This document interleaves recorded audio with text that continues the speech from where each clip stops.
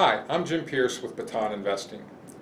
Every day, people like you come to us whenever they realize that their current investment approach just isn't working.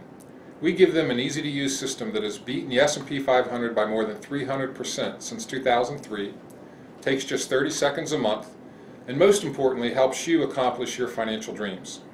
Today is December 9th, 2014, and I want to talk to you about a stock that you may not have heard of, but that we really like, called AmTrust Financial Services, which is a property and casualty insurance company and trades under the symbol AFSI.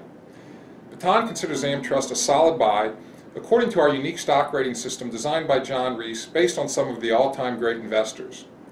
In the case of AmTrust, it earns a perfect score according to our investment strategy based on James O'Shaughnessy, author of the book What Works on Wall Street, which looked at 44 years of historical data to determine which factors correlate most highly to the most successful stocks. So, based on his research, O'Shaughnessy developed two formulas, one for growth and one for value.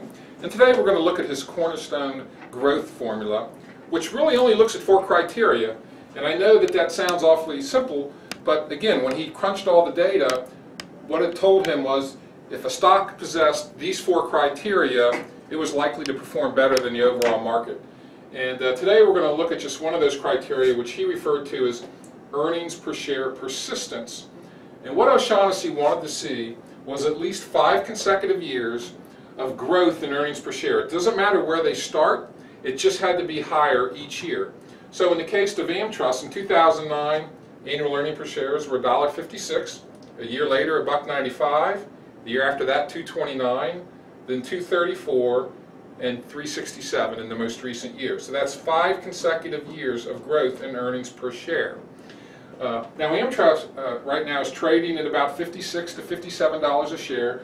We think it's a good buy up to $60 and it's something you should consider for your portfolio. Now, AmTrust is one of only 10 stocks that we own in the Baton portfolios. And once a month we evaluate all 6,000 stocks that trade on U.S. exchanges to determine which 10 score the highest according to our unique methodology.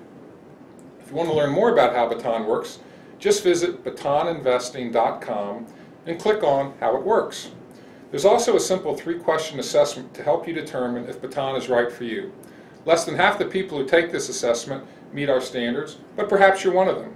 So go to batoninvesting.com now, and I'll see you again next week. Thank you.